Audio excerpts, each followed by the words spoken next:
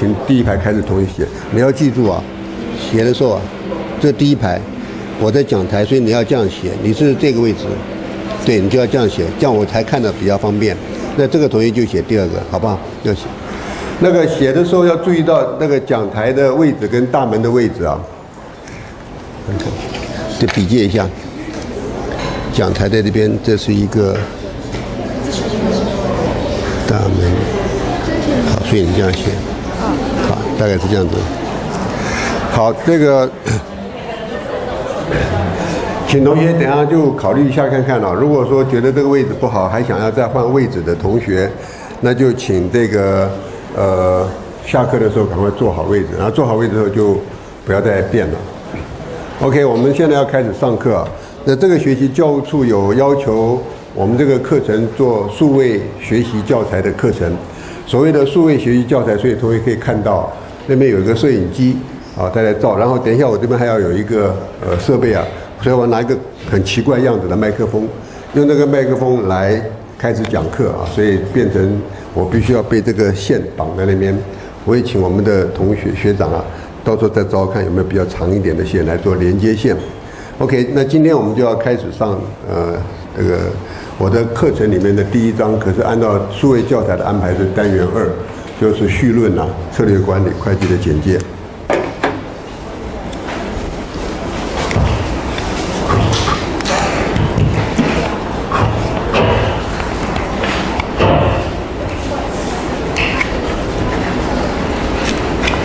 我这个操作也不熟啊，这个所以说这个握握起来怪怪的一个感觉。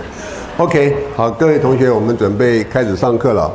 那这门课的绪论呢，就是要准备介绍策略管理会计。在介绍策略管理会计之前，我们会先问一下，这个课程呢叫策略管理会计。我们原来的课程叫做管理会计，那加上了一个策略这两个字啊，是因为。好像这也是一个趋势。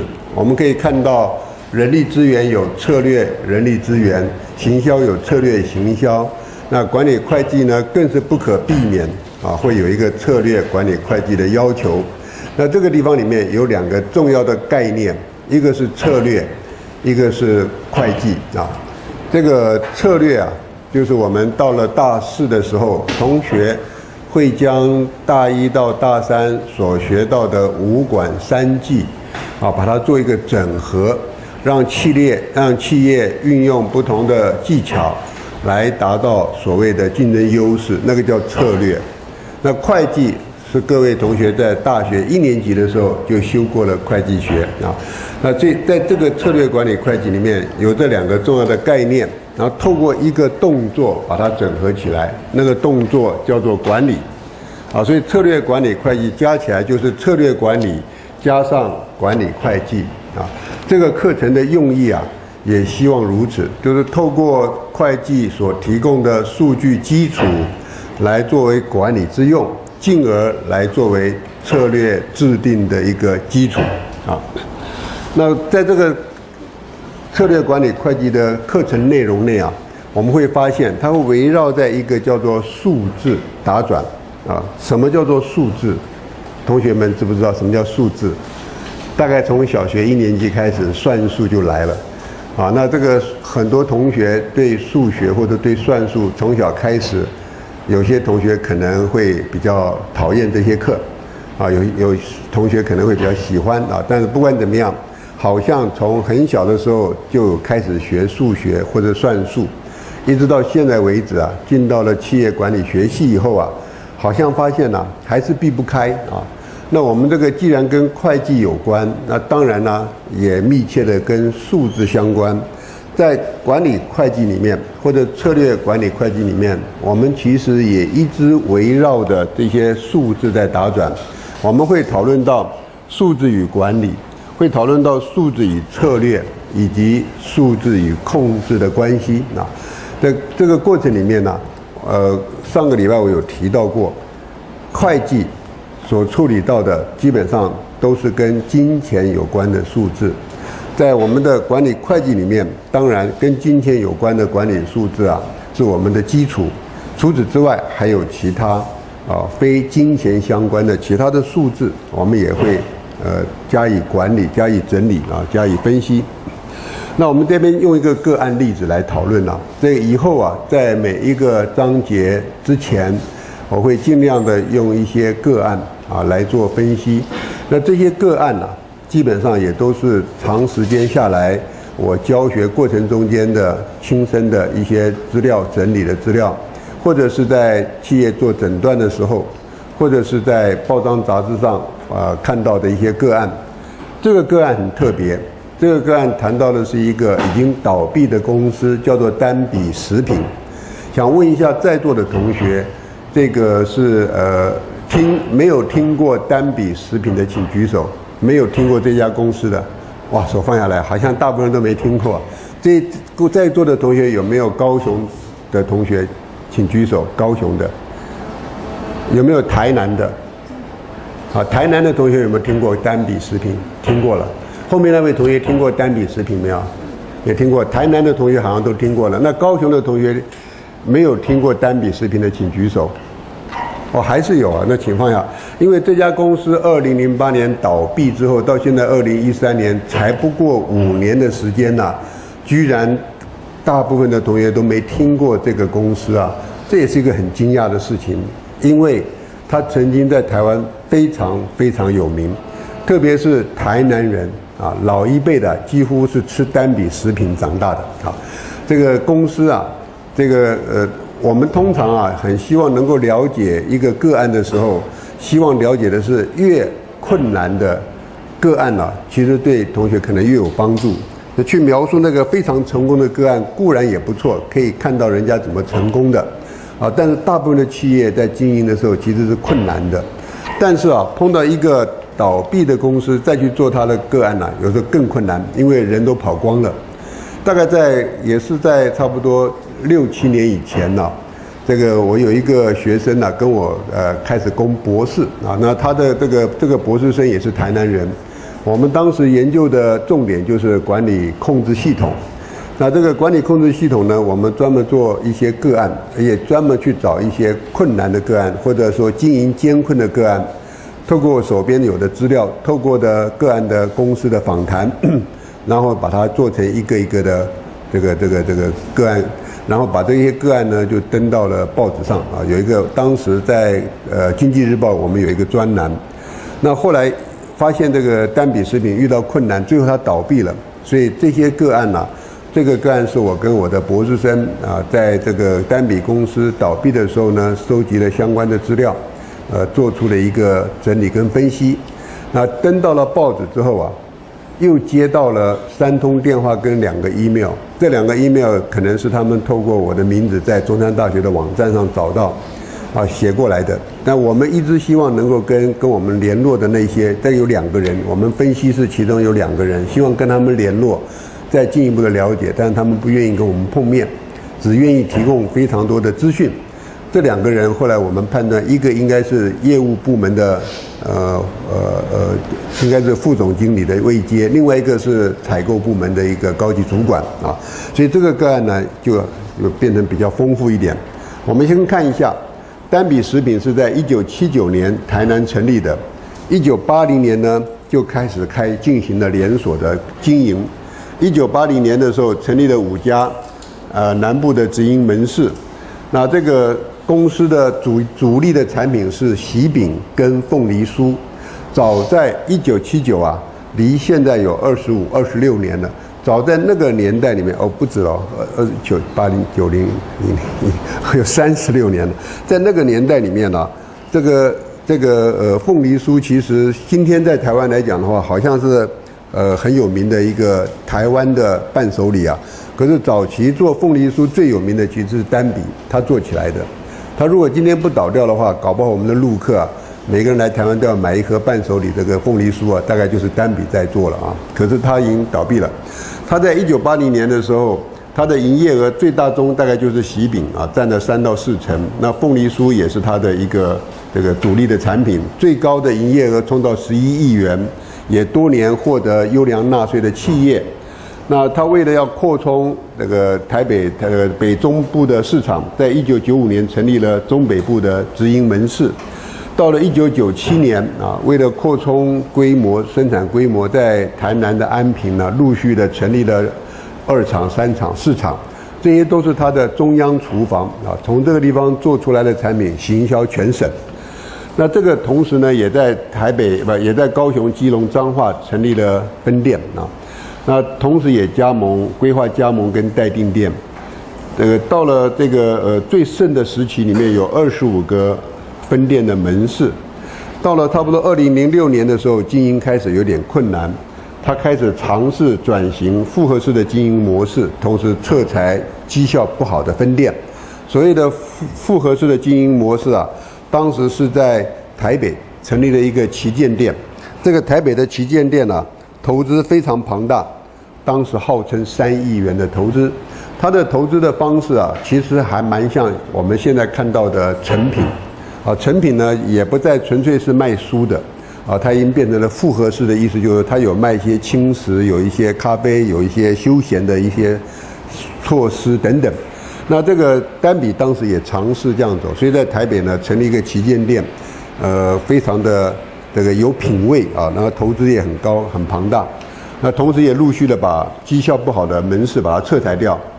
到了二零零八年四月底的时候啊，单笔还剩下十七个直营店跟四个加盟店，换句话说还有二十一家店，员工大概有两百人。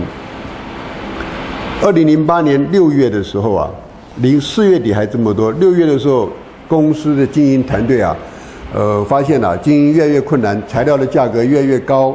呃呃，一些一些门市的规模扩充太快，造成了财务的缺口，而这个缺口资金高达两亿，公司时短时间又筹不出钱来，所以宣布倒闭，结束了二十九年的这个经营的历史。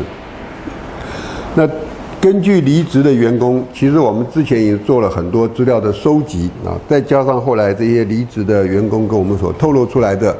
我们就发现了，这个单笔食品在经营的最后段呢，已经陷入了混乱，整个的管理系统陷入混乱。首先看它的薪资结构啊，薪资结构没有跟上时代，远远的低于同业。它还维持在这个当年二十九年前创业的时候啊的那个传统的思维。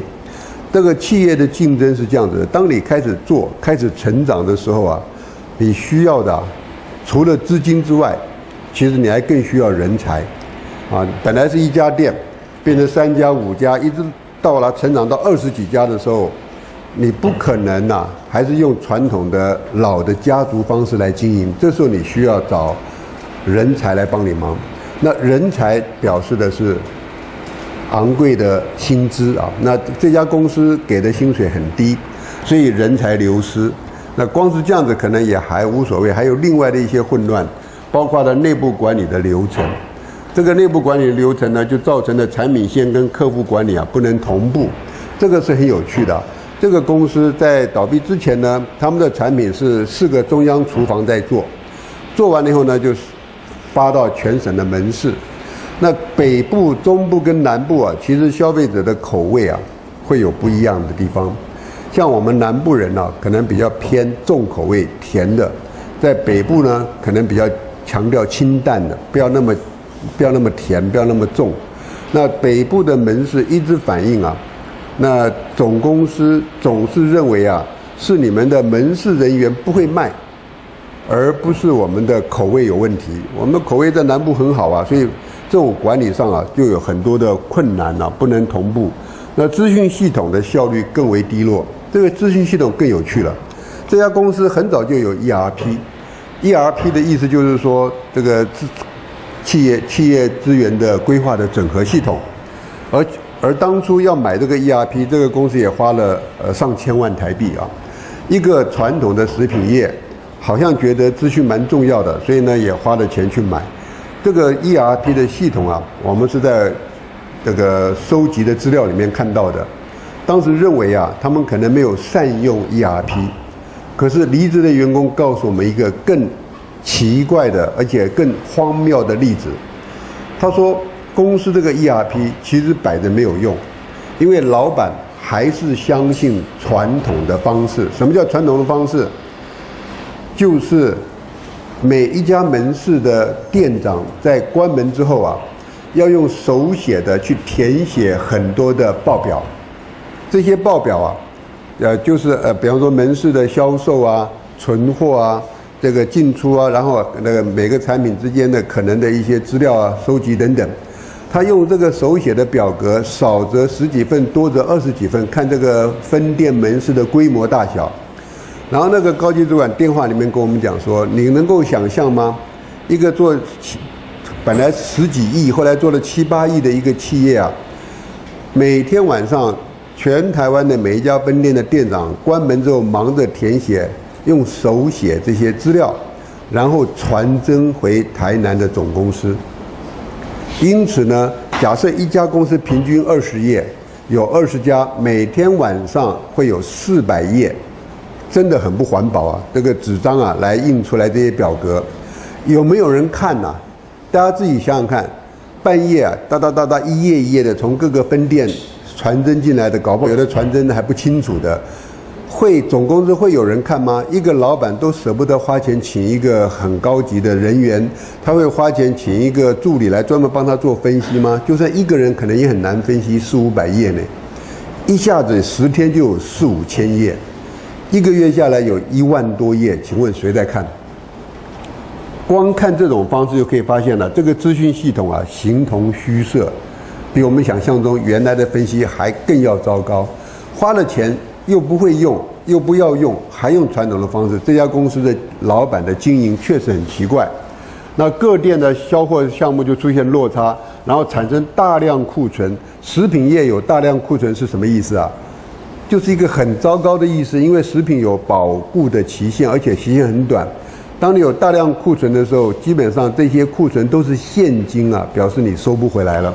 所以因此啊，这个所有的资讯混乱之下，造成的这家公司啊，它的中央管理系统跟它的那个那个各个门市的分店的工作啊，没有办法配合，造成的绩效经营不善。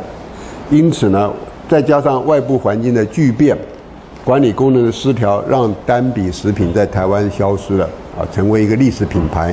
为什么外部环境的巨变？二零零八年是所谓的金融海啸年，从二零零七到二零零九，二零零八年最激烈的时候，所以一堆企业啊，平常经营不善的，还可以苟延残喘撑的企业，到了二零零八年的时候，纷纷不知倒地，包括单笔食品在内。啊，那单笔早期的成功，并没有办法让这个企业啊顺利的转型，所以让一个在地的商号顺利的变成全国性的，甚至进军到国际上的一个企业，这真的非常可惜。那我们现在问一个假设性的问题：我们如果将时空调回二零零六年，作为一个企业管理学系的高材生，那假设。食品单品公司，请你来替公司做一个经营诊断，来改善公司的体质的时候，你需要哪一些资料？特别是数字方面的资料，以便呢你能做出合理的建议。请问你需要哪些资料？啊，同学可以自己问一问看看，容不容易？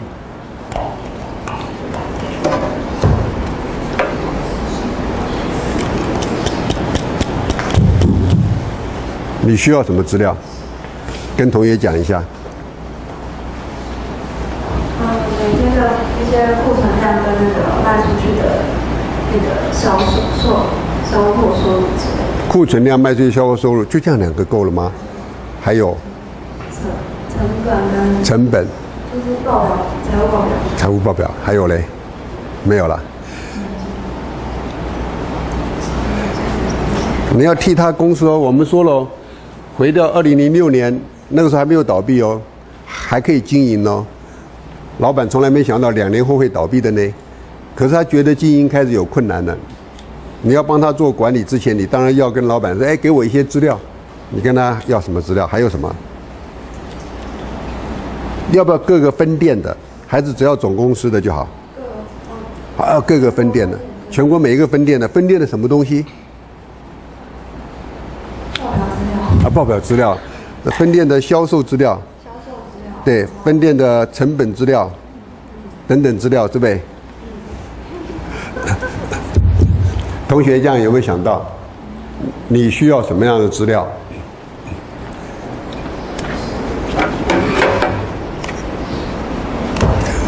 这个故事还没有结束啊，个案故事的延续啊。这个我刚刚问这位同学，他是同学的代表，每一位同学都可以自己问一下，你需要什么资料？啊，这个问题啊，不只是问同学而已。我曾经在高阶经营管理班问在座的一百位老板级的，同样问这个问题，而且我不是问，我是发下试卷子。每个人给他十分钟，叫他们填要什么资料，那些老板也吓一跳，有的人措手不及，写上来只有三行字，一下子慌了，不知道怎么写，啊，所以这个东西是还蛮现实的。你要需要什么资料来进行下一步的管理？跟着我们来看个案公司的延续。到了二零一零年九月的时候啊，在台南市下林路一百四十号，就是原来丹比食品的总部啊。成立的另外一家公司叫做康鼎丹比，这个康鼎丹比呢是丹比食品呐，这个倒闭之后啊，有三位员工，这三位员工呢都是差不多四五十岁以上的阿上级的妈妈级的员工，每个人拿了一百万到一百五十万出来，觉得单比食品倒闭的很可惜，所以他们重新又开始成立了康鼎单比。在座的同学，台南的同学有没有去吃过单呃康鼎单比？有没有？没有了。OK，还有哪一位台南同学请举手？刚刚有没有在新的单比也没吃过了？可以去试试看看。知道夏林路嘛？啊，一百四十号，可以看看。早上有一个台南的同学说过，他说他去吃了现在的单饼，因为今年的那个呃中秋节，他妈妈买了一些。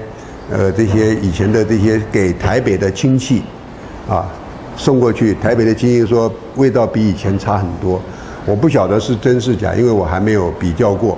只是啊，这边也有一点小小的故事。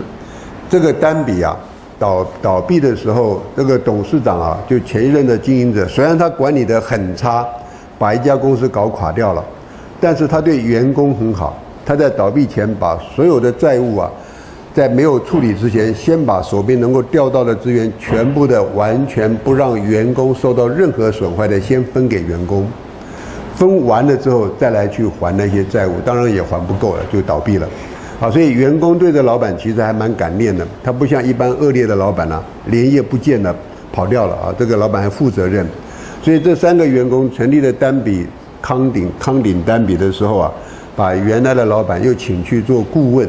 本来要给那个老板一个月，呃一两万块钱的车马费，那个老板也婉拒了，说我来帮你们做顾问，但是我不要任何一毛钱，因为他也觉得，呃很对不起员工啊。这个是一个后续的追踪，本来要跟我的博士生说，你继续追踪这家公司，顺便去看一看前面的倒闭会不会让这家新的公司成立的时候会警惕。不过那个博士生毕业了以后到到北部去工作了，所以这个工作就没有再延续了。另外跟着看对照组，奥弗利巧克力，对照组奥弗利巧克力，呃，听过的同学请举手。奥弗利，没有吗？没有人听过奥弗利啊？哎，在座的有没有新加坡的同学？有没有新加坡同学请举手？啊，我下午班没有，上午班还有一些新加坡的同学。这个奥弗利巧克力是新加坡来的，啊。二零零八年，新加坡的奥弗利巧克力进军台湾。这个二零零八年进军台湾是这个奥弗利巧克力在全球布局的第六个台北啊，是它的第六个营业城市。台北店加盟店是第十家连锁加盟店。开张当天就涌进了一堆人来买这个巧克力蛋糕。它也是一个食品业的一个个案啊，只是这个个案更特别。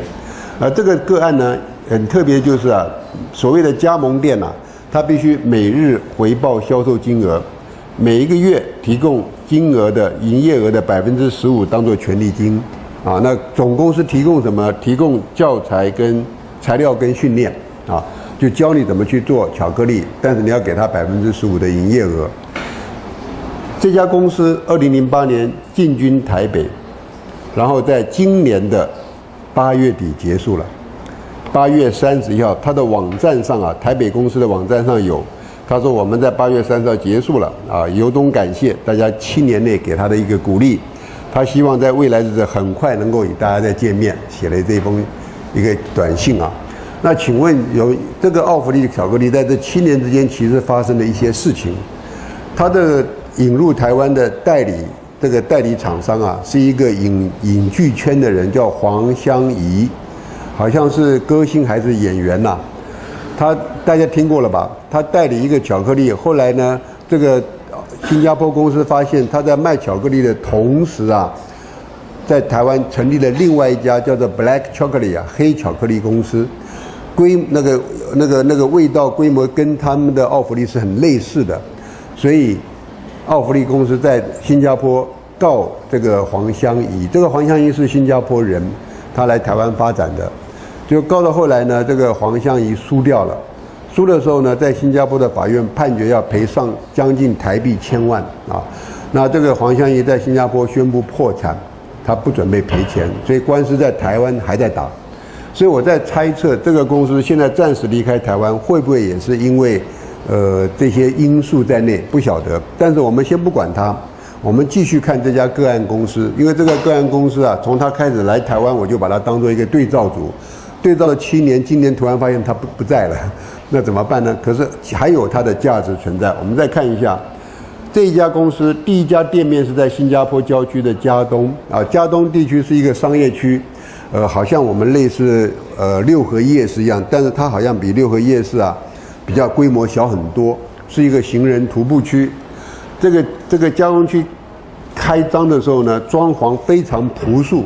这家巧克力公司走的都是简洁风，黑白系列为主。更特别的是，这个公司啊只卖一种口味的巧克力，而且啊是一整个一整个卖，绝不切片。我们一般人呢都是有一个。这个蛋糕的橱窗，这个橱窗里面一片一片的买，至少提供好几种选择嘛。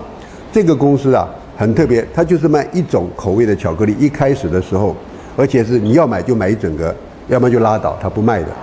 创业者个李正义啊，他的经营理念就是只要口味不要卖相，只要是巧克力蛋糕的口味，我不希望它怎么样子，我就是卖这个巧克力。李正义啊，这个不是男生，名字像男生，他其实是一个女生啊，而且是一个很特别的女生。她是这个在新加坡国立大学的法律系毕业的，而且也考上了律师。毕业之后在律师事务所里面做律师。这个女生呢，很喜欢吃巧克力蛋糕。问题是啊，她有一个坏毛病，每次不管是她自己买，因为同事都知道她喜欢，或帮她帮她买，推荐她买。他每次吃完的巧克力蛋糕就骂不绝口，太难吃，太难吃，没有好吃的，一大堆的。弄到后来，他的同事火大了。那什么叫做好吃的？你你说说看嘛。每次给你买来介绍给你，都说难吃。那李正义也想，也对啊。他说我自己做一次看看。结果他家他在家做了巧克力蛋糕来带给同事吃的时候，哎，同事觉得还做的不错嘛，很好吃嘛。我感觉上搞不好当时是也是场面话应酬一下，你做的好像还不错。可是这一个话居然让李正义啊，呃，受到感动了，因此毅然决然把律师事务所的律师职工作辞掉，专心的去开巧克力蛋糕店。新加坡一个律师平均收入有多少？我也问过新加坡的同学，呃，他们说大概平均呐，将近台币一千万年收入。新加坡人的收入是台湾的三到四倍。这个是肯定的，他们大学教授的收入是台湾大学教授的四倍，啊，所以他们的物价也很高。那所以如果说一千万，那和台币两百五十万一个律师，如果在一个大的律师事务所里面，应该是合理的。那可见这个女生呢，这个决心有多强。问题是她也成功了，她离开了事务所以后，只要口味不要卖相啊，做的这个蛋糕还居然很受欢迎。那这种方式呢？一年后啊，他还还是还是熬不过消费者的要求，又推出了两种口味，叫做香蕉跟兰姆酒樱桃巧克力，就是纯巧克力、香蕉巧克力、兰姆酒樱桃巧克力，就这三种口味，一直到现在。当然，除了蛋糕之外，它还有一些其他的产品啊，冰激凌也有，但是以蛋糕为主。十多年的时间，它的品牌直营店跟加盟店也只提供这三种口味。而且都保持着简洁的风格。当初开张限于材料，每天只卖一百多个蛋糕，到现在全球啊，所谓的全球以亚洲为主了，它全部在亚洲就是已经有二十八家店。这个二十八家我已经把台北这家扣掉了，否则应该二十九家。二十八家店里面每天可以卖出每天可以卖出上万个蛋糕，它的蛋糕走的是中高价位啊。假设八百块一个蛋糕，每天卖一万个，是多少钱？营业额是八百万。那一年三百六十五天，那你一天八百万，你乘上三十天，两亿四千万，再乘上十二个月，他的一年的收入，光是蛋糕一年的收入啊，所以说这个人呢，这个不做那个律师也是对的啦。OK，这就是他的这个这个奥弗利巧克力在。台北金站地下室那边啊，我这边写一个此情只可追忆的原因，是因为它刚好在八月三十一号关门了。我为了要拍这个简洁风啊，在一年前，二零一二年的七月一号，刚好有事要到台北出差，我赶了一个早班坐高铁，到了这个这个这个这个台北之后，赶快金金站转运站那边找找到这家店，所以他还没有开门，照了好几张照片。选一个简洁风的概念来给各位同学看，可惜只可追忆了。好了，虽然奥弗利巧克力公司目前离开台湾，但是未雨绸缪。假设了，如果公司现在请你对他做一个诊断，以因应未来再次进入台湾的挑战，你又需要哪些资料？特别是数字方面的资料，来让你做出一些合理的建议。啊，要需要哪些资料？这些资料。跟刚刚的那个单笔的资料会不会一样的？这位刚刚问你的同学会不会一样的？会不会？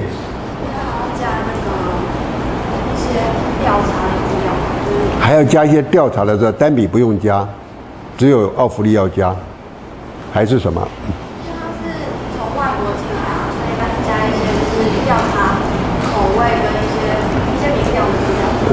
没错，外国进来的单笔是一个纯本土的。我们在做单笔的数据资料来提供单笔公司的时候，可能还是以本土的单笔的这个这个这个本土的资料为主。如果要替奥弗利巧克力的老板李正义做一些建议的话，他已经是等于说国际化的一个食品公司了。针对国际化食品公司，可能就会针对各个地区不同的消费习性，会做一些额外的资料。但是其他的基本的数据资料应该都一样的。OK，我们这边还有一个网网页啊，这个网页同学也可以上去浏览看看。这个网页是他们新加坡的网页，我们可以看到这个 franchise 跟 lesson lesson 啊，这边里面呢，这边有一段话啊，我们现在啊仍然在寻找所谓的加盟啊啊等等之类的。呃，这个下面的这些城市，曼谷、台北、马尼拉跟香港，台北还是他们的。那再看看它的 stores 这些店里面呢，新加坡、上海、香港、台北、北京、雅加达、大连、广州跟深圳，所以看得出来，它这个店基本上是以中国大陆为主，然后新加坡、雅加达跟台北啊。这个是他的店，所以我用一个对照组跟一个这样子的一个两家公司，同学可以看一看。那可以利用你上网的浏览资讯的能力啊，来上网查这两家公司的资料，尝试回答前面的所说的那些问题啊。我相信同学们在网络上搜寻的能力一定都很强啊。OK，这是一个刚开始的个案，利用这个个案呢，来进入我们这个章节。那这个章节里面，我们谈到的其实已经慢慢可以浮现了，可以听到我一直在强调两个字，叫做资讯。我们在管理里面所需要非常多的资讯。那资讯到底有哪些种类？资讯到底如何的去整理、跟收集、跟运用？这个特别是我们在面是管理会计，所以我们会强烈、强烈的去说明说。管理会计的资讯是什么？所以这个章节的重点，首先了解财务会计、成本会计跟管管理会计提供资讯的差异。啊，到底什么是财务会计提供的资讯，什么是成本会计提供的资讯，以及什么是财那个管理会计提供的资讯呢？那在座的同学，这个学期也正在修成本会计的，请举手。哦，请放下，还有不少同学啊。这个有有正在修成本会计的，会感觉到，不晓得你们有没有感觉啊？好像成本会计跟管理会计很多章节重叠，很类似。那这两个之间到底有什么差异啊？也许现在问你们呢，可能还太早。但是我这边会做一个整理，先告诉同学他们的差异在哪里，然后你再去比较这两门课就更清楚。那如果没有修过成本会计的，透过我这边的说明，希望你们也能够了解他们提供的资讯是不太一样的，然后再了解管理会计提供的资讯跟企业管理的相关性啊，那以及管理跟控制之间的资讯关系。最后就是了解管理会计对你日后工作上的重要性呢。这个对日后工作上的重要性呢，我推荐的这个参考书里面呢有详细的说明。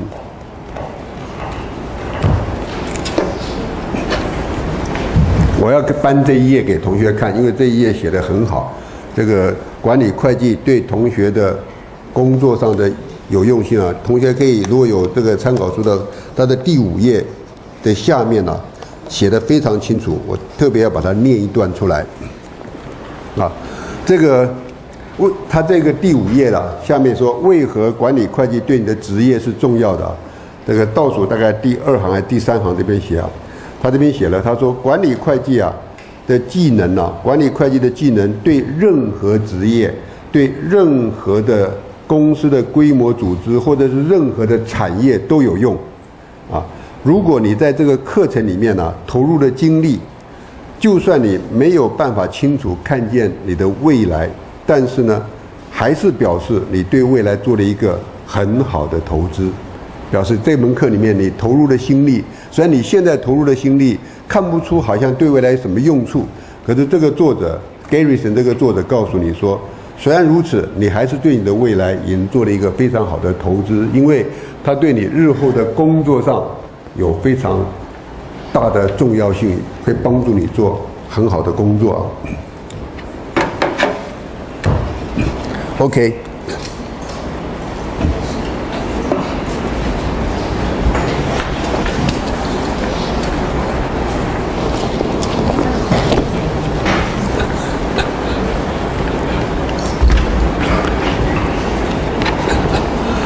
好，我们再来看啊。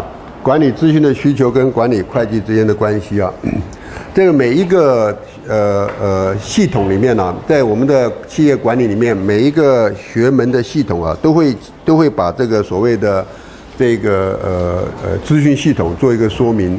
管理会计也呃不可避免的也要把一个所谓的管理跟管理会计相关的系统啊做一个呃解释啊。这边是一个企业与环境的资讯系统。那我们在做管理会计之前，先要了解企业运作是如何的。我们这边会举制造业为例，啊，所有的原材物料从原材物料的市场进来企业之后啊，会先进入所谓的仓储系统，跟着从仓储系统进到了生产系统，从生产系统里面这个半成品再制品呢，也会进到了中间仓储，一路到了所谓的做好的制成品呢，进到了制成品系统之后。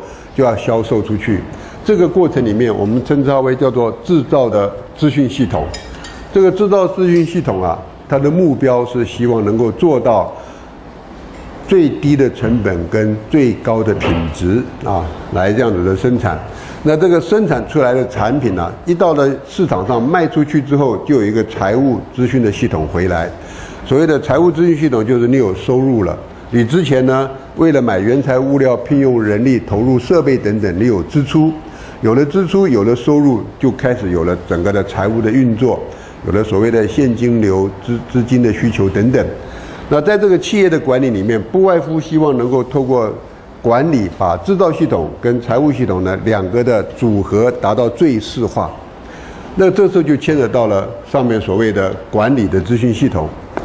在这个管理的咨询系统里面，以管理会计的角度来谈，它有四个主要的功能。我们在教科书里面看到的是三个，它上面写了三个，后面的三个我把它加了另外一个叫计算。这个管理会计第一个一定要会计算。你如果连你的产品的成本都计算不清楚，你怎么去进行后续的管理？而这个计算也不见得很容易。很多企业你都要问他，你的产品如果说一上的几十种、上百种，你的每一项产品的成本都可以清楚的计算跟掌握吗？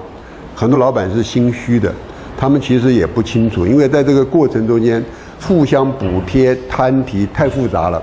但是我们做管理会计的，当然希望先能够计算，会计算之后才能够做计划或者是规划，然后可以做决策的制定，然后最后做控制。这些所有的管理资讯系统都是希望把制造资讯系统跟财务资讯系统的组合达到最适当的程度，最适化。这些在在都需要资讯，除了。除了公司厂工厂内的这些资料之外，我们还有外部环境的变化。在这边再补充说明呢，这个会计领域里面呢，我们也可以看到很多的例子，特别是成快、管快的这些例子啊，都是用制造业来做例子。也许同学会问啊，这个服务业呢，我们为什么不以服务业为例子？我也许我将来要进服务业，我不会去制造业。但是书本上、教科书上都是用制造业，为什么？因为制造业啊有三大块，这三大块里面，它一定要管理，所以它有管理这个部门；它也一定要卖东西，所以它有销售部门；它甚至还有制造的这个东西。在服务业里面，大概只有管理跟销售，没有制造；而制造业里面有管理、有销售，还有制造。所以我们把制造业描述清楚之后。转换到服务业就很容易了，啊，它的困难度就很低。那这个制造业还有一个特性，所谓的制造业啊，东西进来会改变它进来的样子，出去产品跟原来进来是不一样的，这个叫 transformation，这个叫做制造，转换过程叫制造。如果东西进来没有转换过程，原样的又把它卖出去的叫做流通业、物流业了，就不叫制造业。所以制造业很特别的地方就是，它会把我们的原材物料转变，不管你是用组合的、用所谓的融合的或什么分解的，反正就是用这种方式会把原来的面貌改变成新的产品出去的，叫制造业。所以我们基本上都会以制造业为例子啊，在这个例子过程里面，我们看到它需要资讯。假设我们把外部的环境的变化，例如全球化的挑战、区域化的形成，再加上对客户价值的主张越来越重视啊，还有内部管理活动的需求之外，我们这些东西全部在在更是需要资讯来支援啊，更是需要资源。所以，我们从边可以看到资讯的重要性。那也许各位会想到说，我今天如果是一个小本生意，我今天如果是在六合夜市。开做呃弄一个小摊位来做生意的话，那这个世界上的大局势跟我有关吗？这个所谓的全球化挑战 A 股吧会跟我有关吗？其实搞不好还是真的有关。当如果是全球的金融风暴来的时候啊，我们可以发现呐，连那些路边小摊也会严格的受到很严重的影响啊。所以今天的这种呃企业经营的形态啊。规模已经不分大小，都台湾的经济啊，已经真正的相进了世界经济的一环里面。OK，我们先下个休息十分钟，我们等下再继续啊。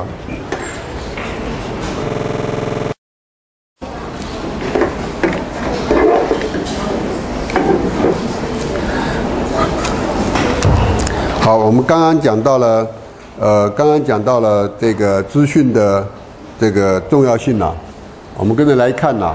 什么叫做资讯的功能？它的过程、它的形成过程、它的种类啊，在资讯的功能里面，前面有提到了，它这个资讯除了计算、规划、决策制定跟控制之外，还有一个 reporting 啊，报道的功能啊，这些资讯呢都能够给管理者啊来报告啊，说大概怎么样的状况。所以资讯呢，呃，除了我们刚刚前面讲的计算、规划。这个决策制定跟控制之外，我们还要加上一个报道的功能，这是资讯的功能。那我们再看资讯系统的形成，在资讯系统形成的过程里面呢，我们也可以发现，它其实也很呃呃很有一个流程呢，这个流程呢也很严谨。首先是资讯的取得，啊，我们说要去想要了解一个问题，一定会去收集一些资料，所以这些资讯的取得收集啊，在当在我当年读书的时代里面呢，是很辛苦的。我还记得我在写硕士论文的时候，那时候我是在德国啊读书。那个在德国读书的时候，因为要写硕士论文，我最多的时间是都是在图书馆里面找资料，啊，那找到了资料之后呢，还要特别有一个笔记本呐，要记住，因为我去找资料的图书馆呐，横跨两个城市，大概有四五间图书馆啊，四五个大的图书馆，还有很多小的图书馆。有的时候这个资料没有办办法找到，就要去另外一个图书馆去找，找到了之后还要做一个记录啊。这本书是在哪一家图书馆的哪一个架子上面？它其中的第几页、第页、第页是重要的。那所以说，全书包里面带的几乎都是这些资料，让我一进到一个图书馆，快速的可以找到我要的书，开始来读。那个叫做资讯的取得，甚至为了要取得德国方面的政府方面的资料。还要坐火车到他们的中央政府的单位去，啊，当然事先都有约好，然后跟他去面面谈，然后希望他给一些纸本的资料等等。那个时候都是花了很多时间，甚至花了金钱。现在呢，资料的获取啊，大概电脑咔咔一 key in 啊，同步之间，你把关键字打进去，搞不好就出现了几百笔、几千笔，甚至几万笔了。所以资料的取得现在越来越容易了。跟着取得之后，你要在哪边储存？当然了，放在 notebook 里面还有什么话讲，对不对？现在的 notebook 随随便便呢，就是几十个 G 嘎百、一百个 G、一百六十个 G 嘎百之类的，所以资料的储存呐，也不是大的问题了。呃，这个资料储存问题现在在哪里？资料的资讯的加工跟资讯的扩散。啊，我们在收集资料的时候啊，呃，像我刚刚讲的。我们把奥弗利巧克力跟丹比食品两个公司拿来做对比的时候，在这个对比的过程里面，我们要去收集到，搞不好随随便便就可以收集到几十笔以上的资料，甚至上百笔的这些资料，我们存在我们的电脑里面。可是当它资料多的时候啊，我们就发现了，我要怎么去把它加工，加工到我要的部分？我要什么部分呢？给一个企业做顾问的时候，我要需要什么样的资讯来给这两家公司？好，这个时候我如何去把资讯加工，做成了所谓的扩散，就是提供来使用。这个后面是辛苦的。我们现在只是一个人而已。如果是一个企业，这个企业里面呢，假设像台积电那么大的企业，一年的营收五六千亿，啊，这个员工呢，这个好好几万人。这个时候啊，它的资讯取得、储存、加工到扩散了，就已经变成庞大到不可以啊。因此，这个时候需要什么？需要一个叫做知识管理的平台来进行整合啊。我为什么要举台积电的例子？就是因为台积电在台湾做知识管理啊，是最成功，而且最有名，而且很早就开始做的。所谓的知识管理平台，就是利用大家。在这个知识管理上面，把资料的取得、储存、加工到扩散，分门别类，分成，呃，这个呃，分成不同的层级来做整理完了以后，让需要这个资料的人随时随地上网一 K 就可以找到相关的那个以往的经验处理的一些方式跟他的解答啊。这个是一个资讯系统形成的过程。我们后面也会用管理会计的角度。把这个资讯形成的过程再描述一遍了。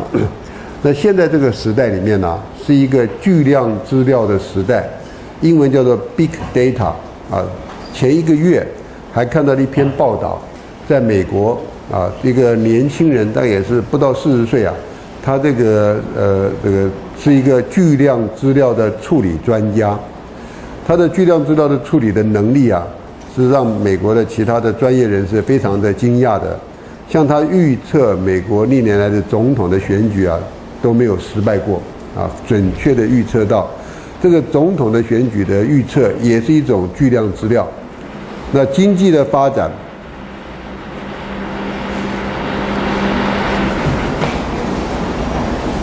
经济的发展也是一个巨量资料啊，所以在这个过程里面，他把他的对一些事情的分析，转换到了巨量资料的内容里面去啊。那我再举一个实例啊。台湾这边有一个叫做 ETC，ETC 是什么呢？就是高速公路啊，这个过收费站的一个自动收费系统。这个啊，哦，是有施工是吧？哦，真的是在施工，做什么施工？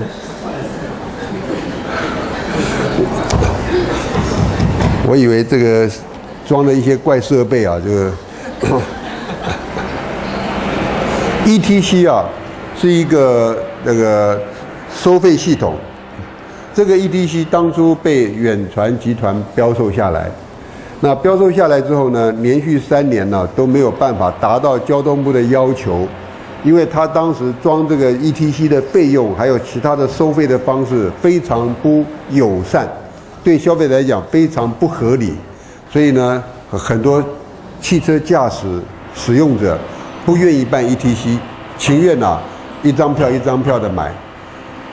到后来啊，去年被逼到说，如果你再不成长，你再不通过的话，要巨额的罚款的时候，ETC 那个集团的后面啊，叫做远通、远东电通啊，这家公司啊，才好像想通了，用免费装置的方式，啊，这个免费装置说什么一段时间内免费装置。然后有什么优惠之后，才把 ETC 使用普及化。普及化，它在这个免费装置前还有一些呃很烂的措施啊，推出来让我们觉得呃根本就没有任何的优惠啊。那 ETC 的背后老板是远东集团，远东集团在台湾呢也是一个八爪章鱼啊，庞然大物。它有啊保险公司，有百货公司啊，有流通业。有产物保险、人寿保险，一堆都有。光是它的远传电讯呐，它还是个电信公司啊。远传电信的使用者只有好几百万的客户。这个后面呐，其实远东集团呐有一个 big data。这个 big data 的意思就是，它如果会用的话，它可以把我们的 ETC 系统啊也纳进它的 big data 里面。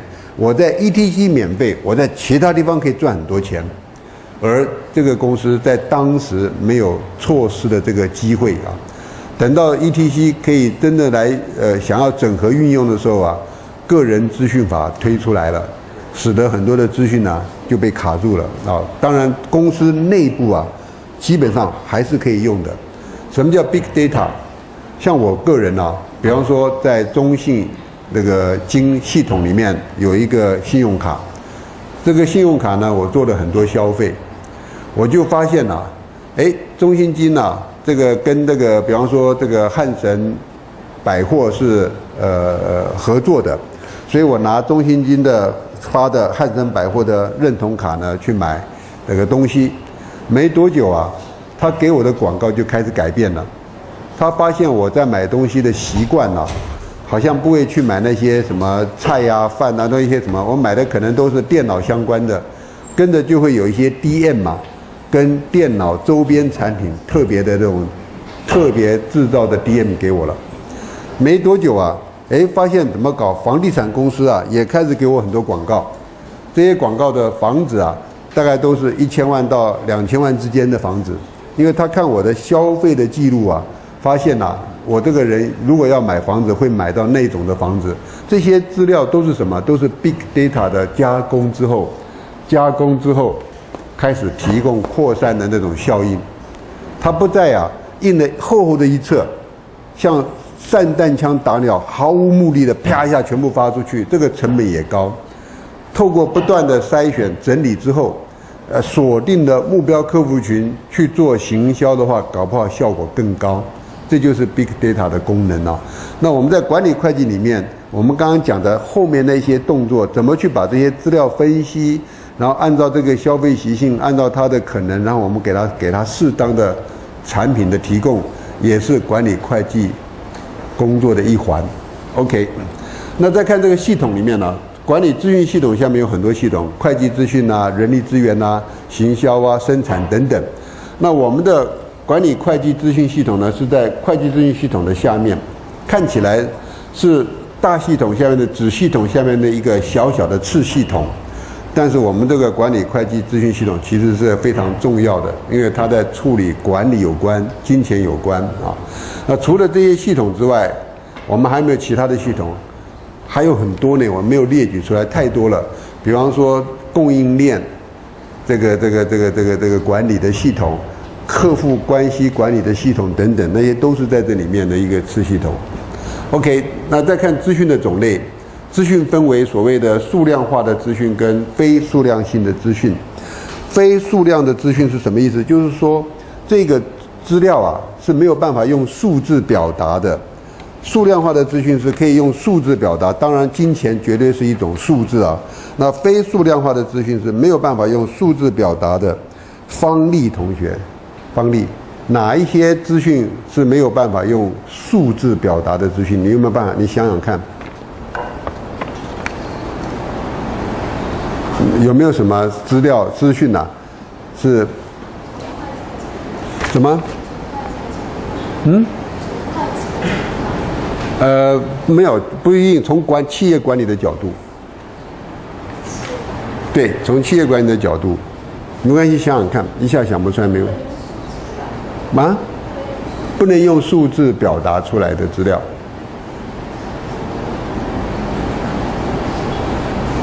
我们没关系啊。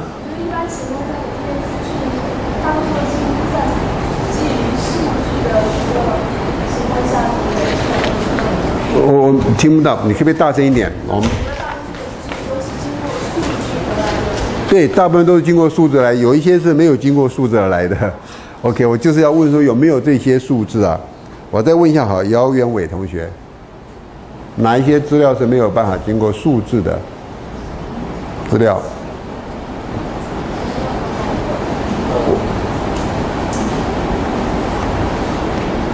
哎，我们是三年甲班是吧？乙班是吧？我们这个班是三年乙班，三年乙班的班代表是哪一位？在哪边？哦，OK，哎，上个礼拜不在前面，现在跑到后面去了。OK，这个呃嗯是何义贤是吧？啊柯啊柯义贤。哦，柯这个柯义贤，柯义贤同学，这个你是三年乙班的班代表，你觉得我们班的同学啊，这个班上的班上的文化是好还是坏？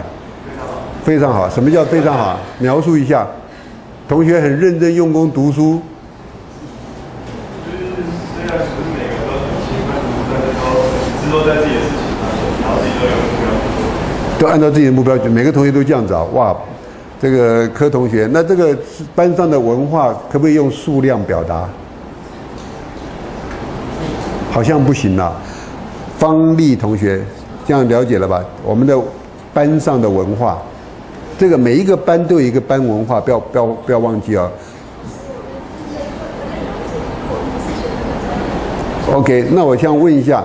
这个一个团队的士气可不可以用数字表达？好像不行吧。一个企业里面员工的向心力可不可以用数字表达？我要问的就是这一些。我们所谓的不能用数字表达的，不能用数字非数量性的资讯，就是指的刚刚讲的企业的文化、员工的向心力、士气、激励、领导的风格等等，这些都没有办法用数字表达。所以我们在资讯里面有两类，一个是没有办法用数字表达的资讯，另外一个可以用数字来表达的资讯。下面又分为会计资讯跟非会计，但是可以用数字表达的；非会计但是可以用数字表达的。什么是非会计又可以用数字表达的？汪怡婷，汪怡婷同学，什么是数字表达但不是会计的数字？所谓的会计数字是跟钱有关，只要是跟钱没关，但是又是数字的，这个叫做非会计资讯。可不可以举一个简单的例子？跟会计没有关系，但是它是数字，又是跟企业管理有关。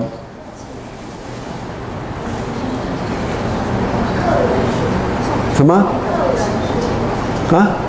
客人的数字，哎，也是啊，就是我们的客户有几位，啊，这样的话同学就大概了解了。我们的员工有几位？员工有几位不跟钱有关。我们有，比方说有一百个员工，OK，员工的平均年龄多少？大学毕业的几位？高中毕业的几位？我们的市场占有率啊，也跟金钱无关，它是一个比例，啊，百分之多少之类的。所以我们有一堆非会计的资讯，但是跟钱有关的都摆在会计资讯下面了。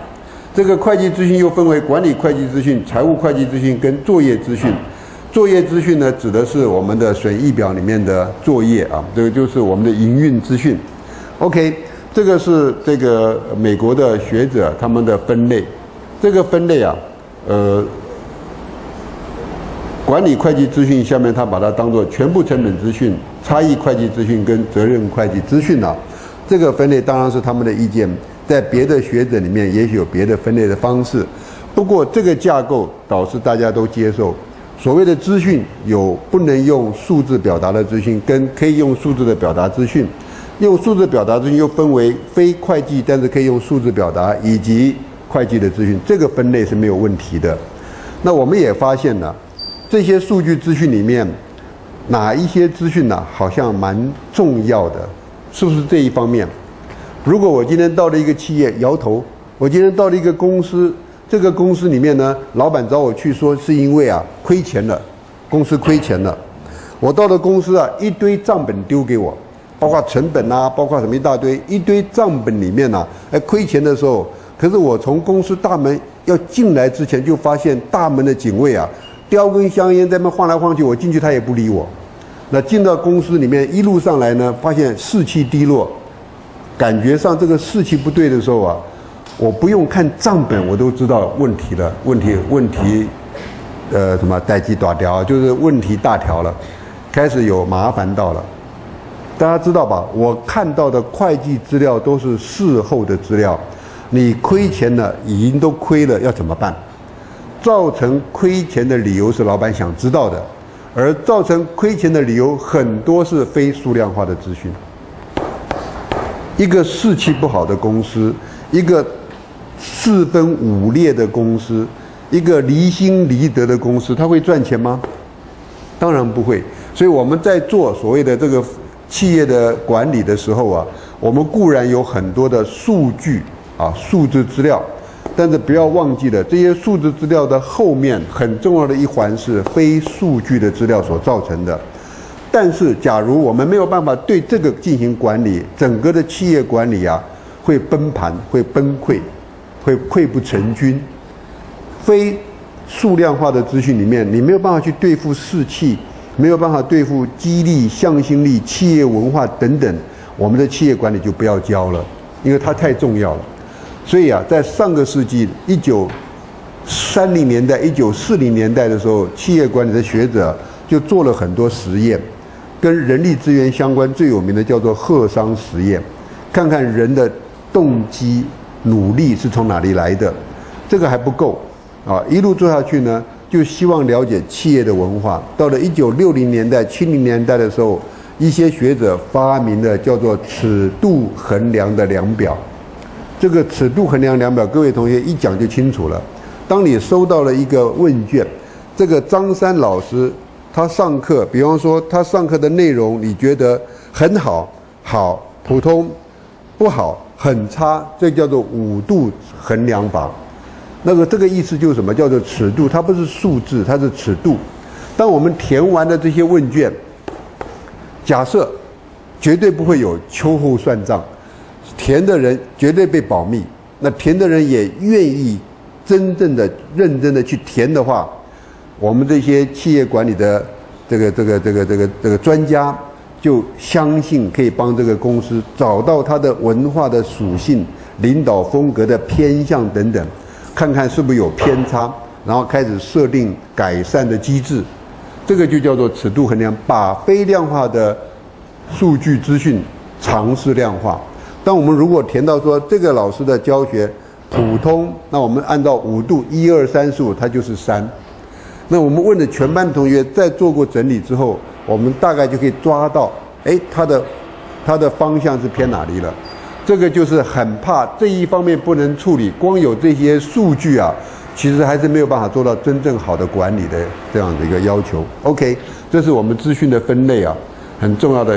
那另外，企业内跟金钱有关的，大部分都在，不是大部分的，基本上都在会计领域里面，跟金钱有关的，啊，我一再强调啊，一个公司里面跟金钱有关的，应该都纳入会计系统。如果老板跟我讲说我的金钱有关的没有纳入会计系统啊，我心里想，那这个公司大概内部控制啊出了很大的问题了。所以，所有跟金钱有关的，应该都在会计领域。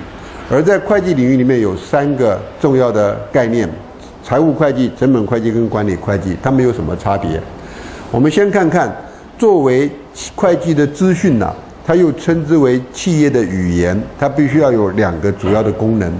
第一个是对外的功能，要分期计算损益、表达财务状况、显示社会责任。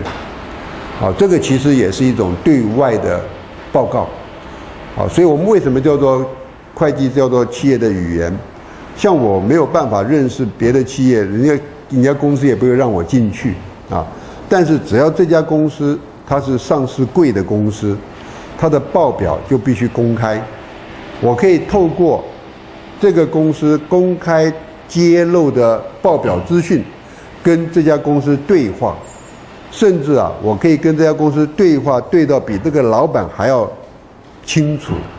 还要清楚啊，所以我们称之为叫做企业的语言，会计是企业的语言，所以他在对外来讲，他是希望能够达到所谓的呃分期计算损益、表达财务状况以及显示社会责任。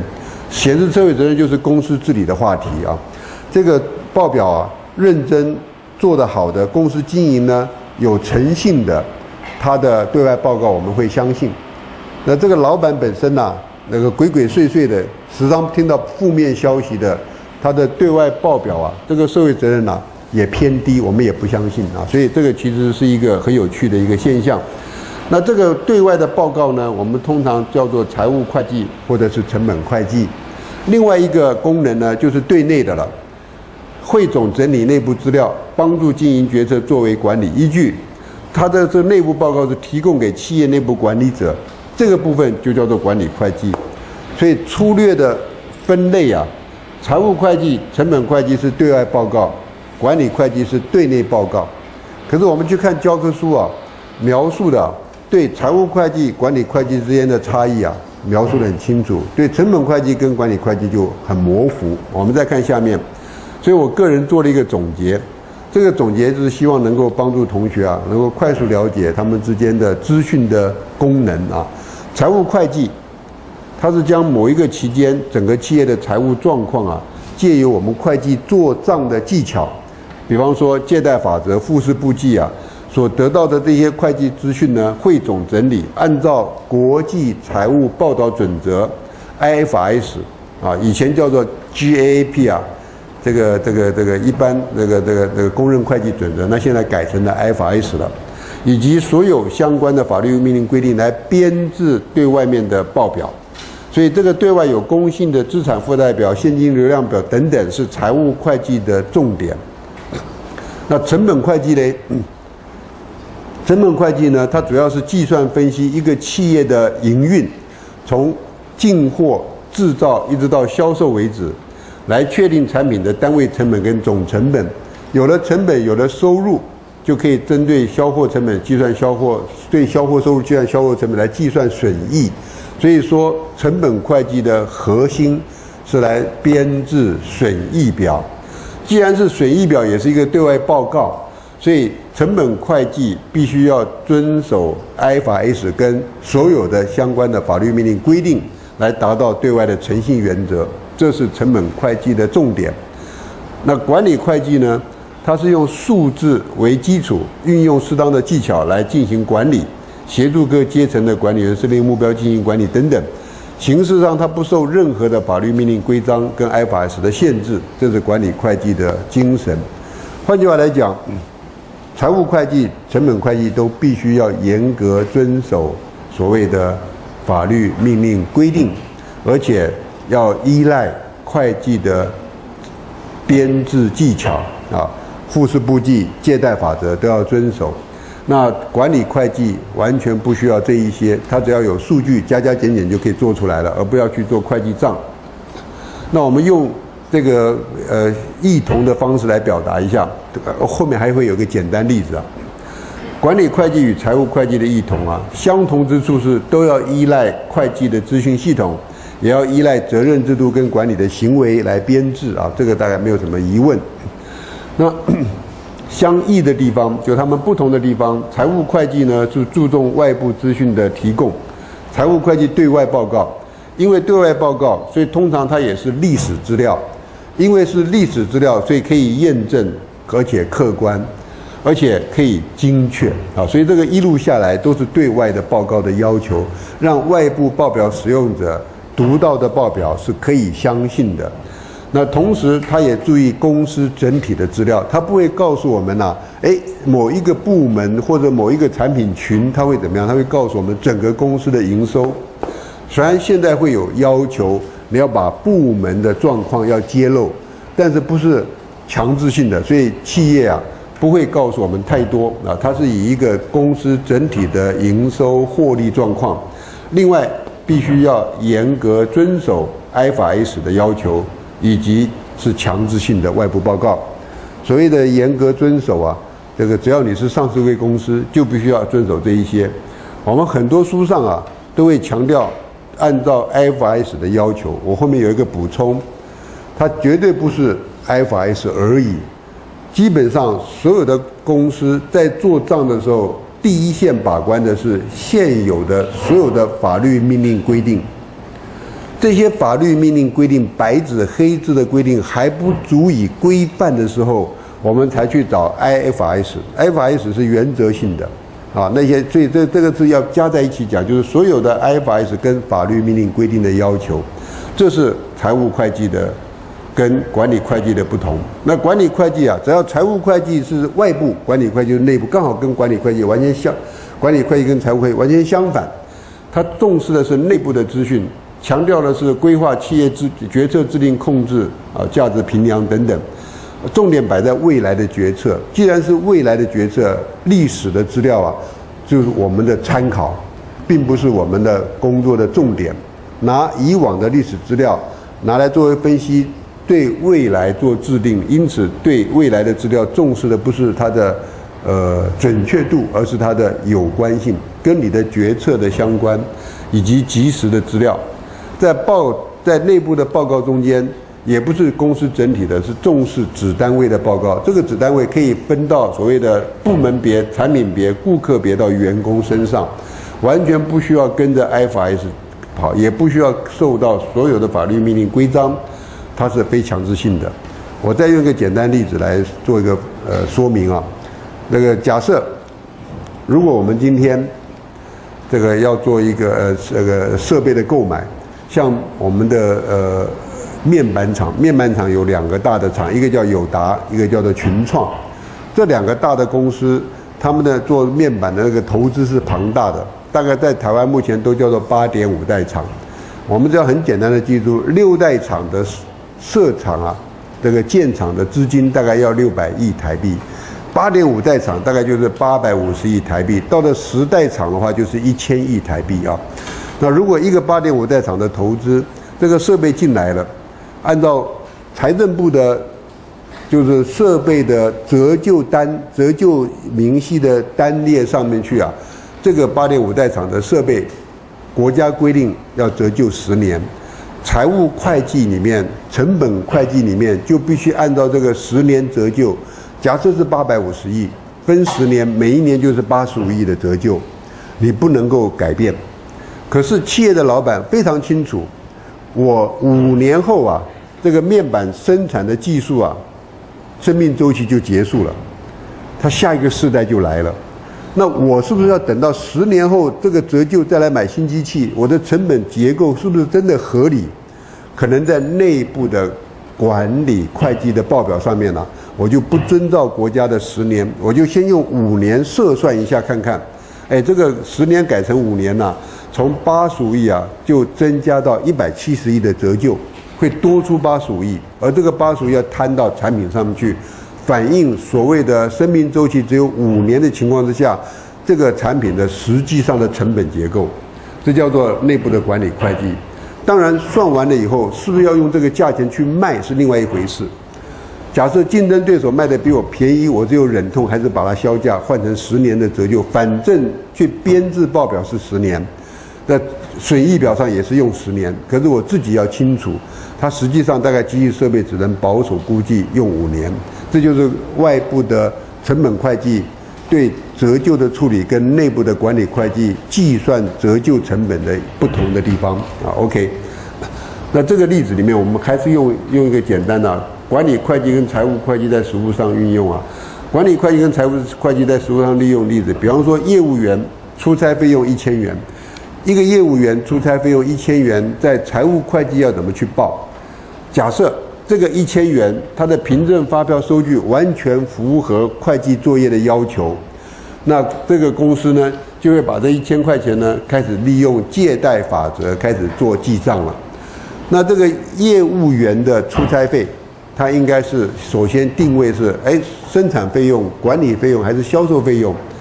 基本上这是管销费用里面的销售费用，所以会列到销售费用。如果是销售费用的话呢，借记增加，贷记减少啊，所以这个业务员呢，很快的就可以把这个所谓的一千元呢，按照会计的技巧编到了销售费用上面去了。管理会计的角度不一样。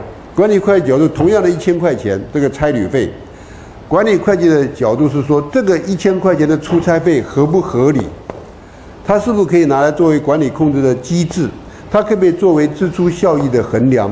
这个业务员去拜访那个客户有没有必要？拜访客户完了效益在哪里？这是我们管理会计做的。至于你要怎么记账，我不管你了，反正会计部门会把它记。我们管理会计的人员呢，是把它拿来作为管理分析之用。这个地方可以看出它明显的差异。OK，管理会计跟财务会计啊，在不同的参考文献说得很清楚，也很容易懂。比较不容易懂的是管理会计跟成本会计的差异，啊，这个地方就模糊了。我们再看管理会计跟成本会计在实务上的运用啊，成本会计呢，它的重点在哪里？它的重点是要利用会计资讯呢，收集销货收入的相关资料，销收集相关的生产成本、管销费用。然后利用生产作业的特性来做成本分散汇总，来最后呢做所谓的业外的收益支出，这些都整理完了就可以编制损益表，然后遵守所有的规章来做，这是成本会计的重点啊。在这个前提之下，我们再举个例子，成本会计啊，呃，我们就不能够拿刚刚那个例子，一个业务员出差的一千块，虽然业务员出差一千块也是在成本会计里面要计算的。不过它不是在生产成本，它是在管销费用、在毛利后面算营业净利的时候才要扣掉。那在这个这个例子里面，我们会用生产啊工作里面的一环来做例子。假设一个工厂，它生产作业中材料已经领用，而且进入生产，这个材料成本是一千块钱。材料领用是靠领料单，啊，从材料这个这个领班呐。从电脑打出来，每天生产打出来的叫生产成本单里面，哎，今天生产的进度是多少？然后跟着会有不同的单据出来，一个叫做领料单，这个领料单就会到库房、到仓库去领材料，领料单上都有编号。这个材料在领料单还没有进仓库交给仓库管理员之前，它是材料，就是我们的材料成本下面的，就是呃。呃，流动资产下面的材料这个栏栏位里面，那我的领料单一送进了这个仓库管理员的手上，盖完印，进到电脑，把材料给我拿出来那一刹那，这个材料就不再叫材料成本了，它已经进到了生产成本单里面的叫做再制品的成本，跟着准备制造了啊，所以有这样子的一个过程。那在成本会计的作业里面呢，我们会先讲这个工厂的作业特性是什么？所谓的作业特性，它是按照批次的，还是按照分布的？就是分批还是分布的？这个在成本会计里面会一直在搞这些东西。我们在管理会计就把它省略掉了。那材料的成本、再制品的成本、制成品的成本的会计评价又各为如何？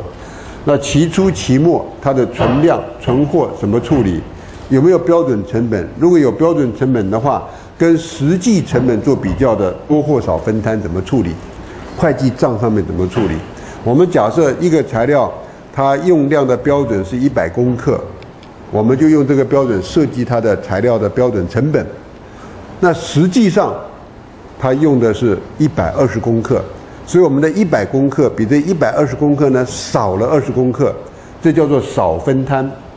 少分摊，我们在最后的营收下面要把这个获利啊，原来预估的标准成本下的货要扣掉这个多用的二十公克。反过来讲，一百公克的标准材料只用了八十公克，我们是多分摊，多分摊我们会有多余的利润啊。所以这个多或少分摊，这些怎么会计处理？差异就是刚刚讲的这些差异如何处理，以及不良品率的摊提、制成品的销售等等，这个是成本会计的重点。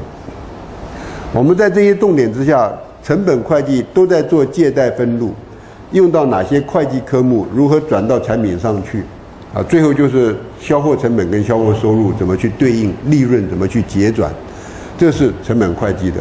那管理会计的角度呢？同样的一个材料，用了一百一千块钱的材料进到了生产线，首先管理会计会讨论到说，我们的分批分布成本里面的摊提是否合理。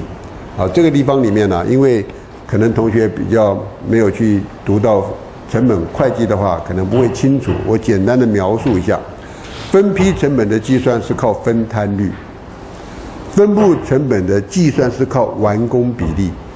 那在一般的会计作业上面呢，都会拿经验法则这样子做一个分摊率来应用，而不去讨论这个分摊合不合理。管理会计就会去看。因为这个摊提如果不合理，整个成本就会被扭曲，啊，所以会先讨论，然后跟着看标准成本是否合乎管理控制的要求，不良品率的原因如何，可不可以降低，材料耗用是不是合理，材料耗用的差异归属的责任是谁来负责，那存货的原因是不是要做合理的分析，在成本会计里面呢？存货的重点是来看看我们有多少存货，就是存货评价要记到会计账上面去的。可是，在管理会计，我管理什么评存货评价，那个不是我的重点。我的重点是你这些存货合不合理，可不可以再减少，或者说是太少了，需不需要安全存量再多一点？这是管理会计的要求。以及最后的就是生产流程合不合乎效益，生产效率有没有可能提高啊？所以从这两个。一对比之下，管理会计跟成本会计就截然不同了。那管理会计呢，还要借助成本会计之助来作为管理控制的依据。我们管理会计也不是凭空有数据出来，我们希望借助成本会计的架构上面呢，来做一些调整，来帮助管理会计啊进行管理。利用什么呢？利用公司的会计手册。公司的会计手册在小公司搞不好没有啊，会计。这个这个人员呢，搞不好只有一个，就自己做账就是了。你用流水账做也没人管理，反正很小。但是如果公司一稍具规模啊，就会对会计作业啊会定出规范，这个叫做会计作业手册。好，这个如果碰到像台塑集团的会计作业手册啊，大概要一千页了啊，非常庞大的。OK，这个会计作业手册里面规范的会计科目，它的特性、它的意义、它的处理。还有一个叫做会计的编码。举例来讲，一般小企业零三叫差旅费就结束了，那大企业可能会把零三差旅费又分为零三一营业部的、零三二管理部的、零三三生产部的，大概分这三个部带就够了。可是我们学管理会计的人呢，觉得这种分类不够，我们希望分把零三一啊营业部的分成零三一一北区、零三一二中区、零三一三南区。就是营业部的北区的中区南区都要有之外啊，还要再细分台北区，甚至台北区下面还有主管。现在的电脑做这种分分类啊是很容易的，看分到主管也不过才六码，我们透过 Excel 啊可以无限制的用这个码来编啊，很快的就可以把它编出来。那早期的话，这个城市设计啊有个栏位的呃限制啊，呃四码或六码，再多可能到八码就已经不行了。那现在是越来越容易了。为什么这样编？很快速的就可以把所有的北区的主管的这一个呃这一年来的所谓的差旅费立刻叫出来，看看合不合理等等之类的。这个叫做用编码的方式来进行管理。换句话来讲，利用管理所需的资料资讯报表，透过分类技巧予以编码，再依入账的凭证给予适当的编码，最后从这编码编制管理报表。啊，举例来说，差旅费对应到顾客。嗯这个地方我要举一个例子啊，这个我呃呃也在呃一家公司做所谓的顾问过啊，这个做顾问的经历之前呢。是那个老板来中山上课，上完课以后啊，他觉得这个管理会计很重要，就跟我联络说可不可以替他们的主管来上课。我说好啊，可以上。他说你可不可以帮我上，呃，每就是每一个礼拜来上一次，啊，大概安排呃一到两个月，看我怎么安排，把重要的部分给他们呃员工讲。那我第一次去上课的时候是下午两点，预计要上到五点。那个公司不大，只有四十几个员工，一级主管呐，就是被老板指派来上课的，居然还有十来个人，啊，结果呃呃两点上到两点半的时候，老板也看不下去了，因为几乎都睡成一滩啊，大家都很累。那到了会议室啊，来上课的时候啊，那冷气一吹又舒服，就睡着了。那呃不到三点钟，老板就说：别停住，停住，不要上课了。啊，老师到我的办公室来，我要跟你讨论一下。到了办公室讨论的时候，他就说了，他说这样子好了，看起来上课的效率不高，我们要不要你来帮我做个企业诊断？啊，那帮我们看看有什么改善的空间。呃，我说好啊，可是需要时间。他说多久啊？我说我需要会计资料，我可能要跟会计部门的经理啊，呃，来做一个整理。他说那没问题啊，反正呢，呃，你就跟会计经理合作，我们一个月的时间。刚好下个月的叫做月经营会议啊，就是全员参与的时候啊，你来帮我们做一个报告啊，让看看给我们一些提示。他说我会付钱的啊，我说这个当然没问题了。然后就跟会计经理来合作，同时老板也跟所有的主管交代，这个呃，更要跟黄老师密切合作，他要的资料都要给他。这个公司它有两大部分部门，一个叫 MS 部门，做资讯软体的服务。另外一个是叫做精密的零组件的进口，这个公司四十六个员工，至少有二十三个是在 MS 部门。那这个公司在我去做顾问的时候啊，做诊断的时候，营收年营收六亿，获利六千万，啊百分之十的获利。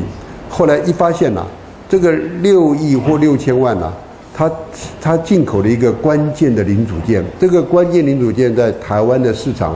高达百分之八十的占有率，而且是从日本进口的，所以这家公司的这个股东里面呢，除了这个台湾的老板占了五十一趴以外，日本人占了四十九趴，所以他的获利基本上是日本人帮他决定的。我给你十趴获利你就十趴，我给你十五趴就十五趴，因为这个零组件的产品在那个台湾的市场上是独几乎独占的，接近独占的。了解了这些状况之后呢，我在做整理的时候，业务经理啊是很骄傲的人，因为这个六亿的营业额，他占了九成以上，接近五亿五千万是他做的，那获利也是他一个人获得的。那 MS 啊，这个二十几个人呢，是一个赔钱的机构，啊，可是公司为什么还有一个 MS 呢？因为想要把日本的软体系统啊引入台湾，规划给中小企业使用，所以这个老板还蛮有野心的。OK，了解的这个状况就开始要去做整理了。我一发现呢，产品别的部分呢，好像没有太多的空间，所有的进价都由日本决定，所有的毛利也由日本决定，剩下的就是营业净利的问题。哎，毛利跟那个销货成本我没有办法去碰它，也动不了什么东西的时候，我就去整理管销费用来看它的营业净利，就跟那个会计经理忙了一个月。一个月以后啊，月经营汇报来了。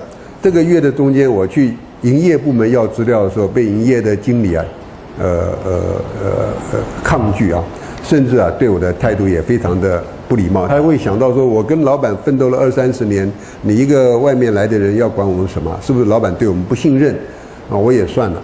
等到那个月营业、月经营汇报的时候啊，我就提出了一个呃，等到这个大家部门都做过报告之后，那老板说，哎，请黄老师帮我们再做一个整理啊，这个这个替公司做个诊断。我那时候就说了，我说我大概就是针对的一些会计科目啊，做了一些整理，包括我们所谓的交际应酬费用。包括所谓的电话费用，包括所谓的汽车的汽油维修补贴这些所谓的杂项开支的费用，我就逐项的报告。首先报告所谓的交际应酬费用。不过在报告之前，我说快那个营业部门的经理啊，可不可以请问你一下，我们公司有多少客户？一讲完，那个营业经理很瞧不起我的说，那一百多家了，呃，资料都有，我当然都知道。我说呃，没错，一百多家。那请问？前十大客户可不可以请你跟我们念一下？同时，每一个客户占有的营业额是多少？他就也觉得奇怪，他说张三啊，张三客户啊，最大的是张三客户，其次是李四，其次是王五，啊，张三占了百分之十多吧，李四占了百分之八，还是有就讲他说他不讲了，这个东西不是无聊吗？老板这不是很无聊吗？这个大家都知道啊，对不对？那个资料都有啊，你会计部门不是熬了一个礼拜，你难道还一个月？难道你还不知道？我说没错，我只是想要再了解，做 double check。因为做一个营业经理，应该脑袋里面呢，对前十大客户应该知道。跟着第三个问题就是说，这十大客户的总营收占了我们全部营收多少？他就很骄傲的说八十趴，没有错，大概前十大客户就占了百分之八十，剩下的九十多家客户只占了百分之二十。最后我就问他了，我说我发现了六亿的营收，那这个交际应酬费啊，大概花了快要两千万，一千多万啊，一千七六七百万。这个是一个有日系色彩的企业，日系企业啊是很喜欢呐，呃，好几趟啊，那个年代里面来台湾的时候，那些日本人来到台湾，工程师、技师啊，我们这个这个公司的同仁要陪他吃好几趟的。那这些营收啊，都是老板账下下面，还有营业经理的下面，我都做了整理了。我只是想了解，还有一些费用叫做客户去交际应酬的啊，请问业务经理啊，我们的交际应酬费用啊，大概经过调整之后，还将近一千万了，花在哪一些客户上面？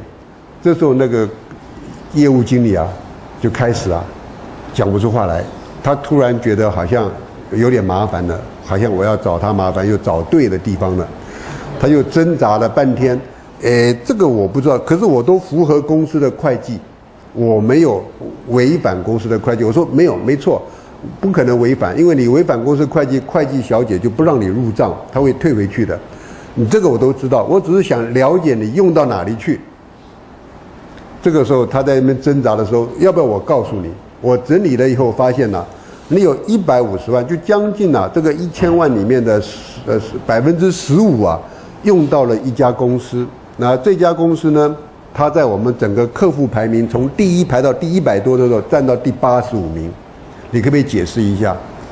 一整年下来，花了百分之十五的交际应酬费去照顾一个排名在第八十五名的客户，算起来是一个很小的客户，是不是？他这两年内会变成前三十名、前二十名到前十名？因为他很有潜力，所以你尽量的去招呼他们、应酬他们，希望变成大客户，是不是这样子？老板一看气氛不对了，哎，这个问题好解决，这个我们等一下再来研究。会计的这个业务经理，你回去想想看。老师不要急了，我们不要急，回去研究一下。我吃定他在那乱搞，为什么？这个百分之八十的市场占有率，需要去那么殷勤的招待一个八十五名的客户吗？大家自己想想看。如果是一个还没有开发的新客户，我还情愿相信呢。啊，这个一个在八十五名的那个规模本来就很小的，就是怎么样呢？换句话来讲，公司啊，这个呃，因为有日系色彩，我们的台系员工啊也很习惯了，没事出去吃吃喝喝、玩玩乐乐。可是回来要报账啊，随便找一家公司编个名字报报，经理一编就好。这些账全部都隐含在什么地方？都隐含在这个大项目，因为它是一个四十几个人的公司，它没有分到，连这个都没分，所有的差旅会摆在一个科目上面。我跟那个会计经理就是说，可不可以把差旅费啊给我分出来？啊，老师很麻烦的，没关系，反正船票都在啊。有什么麻烦的？哦，这一年下来，对不对？我们就坐坐在角落里面加加班，把它整理一下。我说以后可不可以把它干干脆就把它编号编好，到时候你按照编号，你一 key 进去，马上就跑出来了，啊，这个就很简单嘛。所以我们当那个月里面是用手动的把它整理出来，就整理这一些一些会计科目啊，一整理出来，马上发现很容易就知道管理了。我们把差旅费对应到顾客是这个意思。啊，不但是差旅费对应到客户，还有对应到他的电话啊，还有对应他的车资啊，一路下来呀，还有很多的这个这个改善的空间。我们先下课休息十分钟，下一堂课的时候，我再跟各位同学讲另外一笔费用。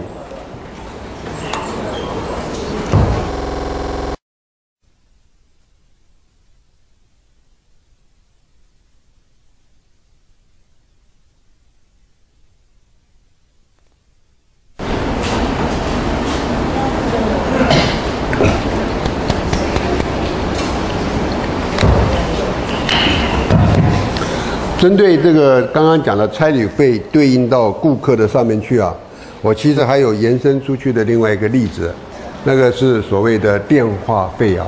那当年在做这个公司的诊断的时候啊，他们的一级主管每个人都分配到了呃行动电话，啊，今天呢这个行动电话已经变成每个人都有，可是当年那个行动电话的门号跟他的申请费用，一支都要台币两万五千块以上。非常昂贵，而且行动电话呢大的像一个砖头一样啊，那是一个身份地位的象征。有行动电话的到在餐厅摆在桌上一摆不得了，每个人都看到了，表示这个人是有特权的，能够有拥有行动电话。所以都是由公司替一级主管申请，都是由公司的名义。那我在申请观察电话费的时候，就发现两个问题。第一个问题就是大家的电话没有分配到。分机上面去，所以公司的总电话费呢是透过一个总机，可是没有办法再分到分机，也就不清楚每一个人耗用电话的这个费用是多少，只有一个总 total 的。另外一个就是这个这个行动电话，行动电话呢，因为是有分配到这个一级主管，因此很好可以查，他都可以对上去。对的时候发现主管在行动电话。的花费上面呢，还都还算蛮合理，但是出现了一个人，这个人呢，他的电话费啊非常高昂，啊，一个月大概是两两万一万一万五到两万之间，甚至还有超过。那这个人呢是谁呢？挂名字挂的是董事长的特别助理，其实是帮董事长开车的司机啊。那有重要的日本人来，他会去接机，也曾经在日本待过，留过留日过。然后他就是等于说是董事长，呃，跑哪边他就带着董事长往哪边跑。这个人的电话还特别高，所以当初我要去查这个电话费的时候，会计经理就面有难色，电话费就算了。我说这个人奇怪了，也没看到这个人啊。他说他就是挂名在董事长办公室的特助，但是他基本上是司机，大家都知道的，送往迎来的司机，年纪也不大，三十多岁而已。那可是会计经理就一直不愿意呀。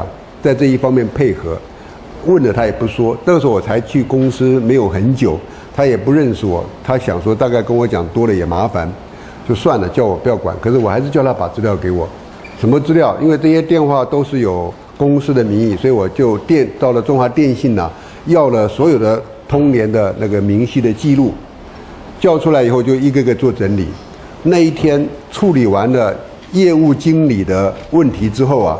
跟着就讲电话费，一讲到电话费的时候，我讲，哎，像张三这支电话就用了非常多的电话费，啊，这个呃，听说他在帮董事长呢，呃，开车，那为为什么去用那么多？那个因为是月经营会议，全公司都在，那位先生听到了，当场就生气的大大声的反抗，说你知道什么？我的电话总董事长也在。用我的电话打，我在帮他开车的时候，他时常拿我的电话打，因为他怕他的电话没电或什么东西的。董事长马上就跟我讲说，事实是他的电话是这样子弄的，然后就还很生气的跟我讲说，你这样子根本不对，人就站起来出去了，当场给我难堪。我发现啊，全公司人都用眼睛瞄着我看。我的经验告诉我，如果这个人不处理掉的话，我这个公司就不要混了啊，所有的英名就毁在他身上啊。这个当然呢，我我其实有准备的，我就请那个那个呃助理小姐说，赶快请他回来，没问题了。他我知道他的苦衷啊，这个董事长确实有用他的电话打，啊，他等一下又回来，可是他出去的时候，我发现董事长居然没有动作，表示这个人他的背景一定很硬。没多久，这个人就被叫回来了。叫回来的时候呢，我就秀出那一个通联的记录。这个通话的明细记录里面，我应跟会计经理啊，把我们认为是公务的电话，也许是董事长拿这个电话打的，都勾选出来。假设有一百笔勾不到十笔，剩下九十笔这些我们都不清楚这些电话，我其实也可以追踪，我可以打电话去问你是跟谁讲话。甚至啊，这个剩下的九十笔里面呢，集中在不到十个人的身上，啊，大家就知道什么意思了。那我就故意啊，装作啊这个不知道，说，哎，我们已经把它用色笔勾出来，以公司往来的电话，剩下的是不是可以请你勾选？你认为是董事长用你的电话来打公务电话，你把那个勾出来。如果全部都是，我们就都接受。一把这个秀到他面前，一整一整落下来。他也整个脸就变了，同样从那个业务经理的身脸上脸色上又再一次的看到那种尴尬奇怪的感觉。这时候他就不敢凶了，他就把那张拿下来，不不太不太心甘情愿的说：“我回去再勾。”我说：“好，没问题，你慢慢勾。”啊，等到这个会议结束了以后啊，我同时要求啊，MS 部门呐，所有的公司的桌上的桌上型的电话要给我用一个城市设计来。分出来每一个人的电话费，啊，因为整个的 total 分不出哪一个分机打多少钱，是看不出来绩效。我说这个这个需要买一些硬体来搭配，啊，这个公司呢应该可以支援。我一讲完了，董事长马上说可以可以，马上去做，啊，马上去做。那这个等到这个会议结束了以后啊，这个电话费这边也结束了，而且电话费秀出那一摞那个名册之后，那个明细表之后，让那一位。很凶悍的那位年轻人呐，突然一下没有声音的时候，我发现了，哎，至少在别的员工面前呢，我还是可以站得很挺啊。那等到这个呃会议结束，董事长叫我到他办公室啊，弄了一杯咖啡，慢慢喝，慢慢聊，说，他说好家在你帮了我一个忙。这个年轻人呐，这个呃不受教，他的父亲是我多年的老朋友，他也是公司的股东。难怪皇亲国戚啊，这个这个这个年轻人的父亲也是公司的小股东之一，而且是跟董事长是多年的好朋友，还带有远亲的关系。那年轻人呢，这个呃花父母的钱呢，呃呃到处去啊，什么上日本也留学过，日文可以讲了，但是呢好像没有学到什么，所以他的父亲说，跟着董事长说，我的小孩就放在公司里面，麻烦你帮忙一下。但他也知道管不他自己工作又忙，然后这个那个这个年轻人除了帮他这个接送之外啊，其他时间也不知道跑哪里去了。他只听董事长一个人，没有人敢指挥他，在公司里面横着走的这个 trouble maker。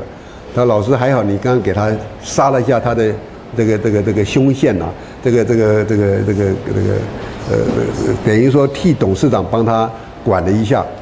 后来这年轻人。半年后就离开了，因为发现也不太好混了。我每次都在盯着他啊，所以他大概也没什么。后来就自动辞职，辞职的话也让公司里面稍微松了一口气。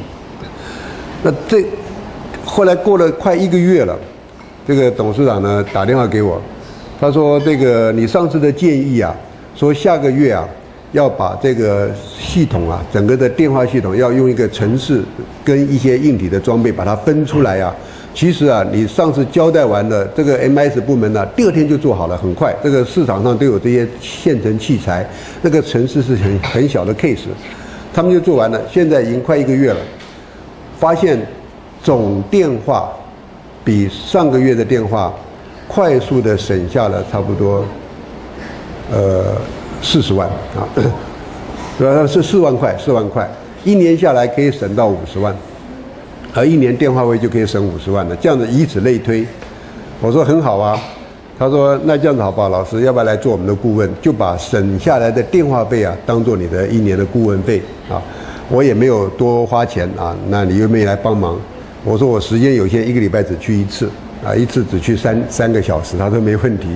就跟他合作做了七年，到这个公司的董事长退休，然后日本人来接手，我不会日文，所以我也离开那个公司了。这七年之间呢，这个老板呢，他是董事长兼总经理，他一直把总经理放在那边要我去做，我就坚持不做。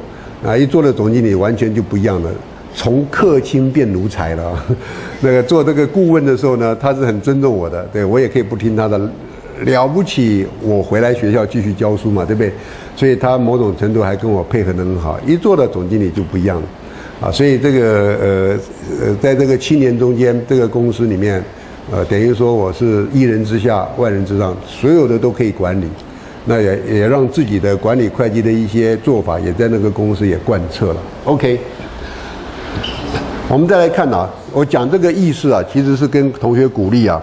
同学，只要你能够有一些这个，就是企业管理啊，看起来学的好像，好像没有很踏实的感觉。很多同学到了大四啊，呃，快要毕业前呢，都还在抱怨呢。快要毕业了，不晓得学什么，老师也没教，系上也没教什么，我们我们空着脑袋要出去了，呃，很懊恼。那时候我们也很惭愧啊，如果学生这样出去了，可是我也时常在问呢，你到底有没有在学？我们这个气管系啊，很特别，很好混，某种程度啊，除了一些比较讨厌的科目之外，一熬过去以后就刷刷刷就毕业了，啊，但是要学到东西可能很困难。你自己问你自己，大大学毕业前，你有没有办法告诉我们？根本不需要准备，站起来就说什么是行销管理，侃侃而谈三个小时还不能结束，还是说大四前毕业前问你什么叫行销管理？啊，可能一分钟讲完就讲不下去了。那个时候来怪老师，不是很奇怪吗？对不对？同样道理啊，也时常碰到同学会说：“啊，老师学过就忘记了，怎么办？”我说：“如果真的都会忘记啊，我只要上最后一天课就好，干嘛要上那么辛苦啊？反正我今天上的，下礼拜忘记，下礼拜上的，再下礼拜忘记，我就上最后一天课就好了嘛。大家都回家，然后最后一天上完了，请记住不要忘记啊，这个最后一天的课，再一个月还是忘记了。”所以不能够用忘记来做借口啊，特别是企业管理里面的很多的基础啊，一定要把它背得滚瓜烂熟的啊。OK，我们再来看呐，当你如果能够背得滚瓜烂熟，你日后在职场上面，说实在的，就可以得心应手。到时候啊，你的工作、你的未来，当然也都在你的手掌掌握上面，当然很容易啊，就可以。我们现实一点来讲。就可以有很好的收入啊。OK，再看成本会计、管理会计跟财务会计的资讯的应用的情形呢？我是用一个 Hilton 的概念呢来做架架构。这个成本会计系统是会计系统的一环啊，它呢提供了成本会计的资料，兵分二路，一路提供给财务会计，干嘛呢？编对外报表。啊，配合财务会计本身，再加上成本会计提供的，可以就编出资产负债表、损益表、现金流量表跟权益变动表。那成本会计的资料，再另外一兵分另外一路去提供给管理会计做内部的管理之用。啊，所以我们说这是一个成本会计、管理会计跟财务会计资讯提供的一个架构。到这边为止啊，我们大概就把成本会计、财务会计跟管理会计的。资讯提供的不同的性质做了说明，希望这堂课完了以后，如果你觉得我说的有理，你就把它记住啊；如果你觉得我说的没有道理，你也至少要自己能够说出一套来。OK，我们跟着看呢。现在有一个概念叫做成本管理，不是成本会计，不是管理会计，也不是财务会计，而是 cost management，成本管理出现了。这好像是一个新的发展，这个新的发展都奠基在 Kaplan 跟 Johnson 在一九八七年的一本书《Relevance Lost》这本书里面呢，这本书是很有名的一本书。这本书对美国在二次世界大战之后，一直到这个这个一九八零年代啊，做了一个严厉的批判。二次世界大战之后，美国的这个企业界啊，只重财务，不重管理。造成了整个的竞争力的低落，因此，Kaplan 跟 Johnson 写了这本书来警惕。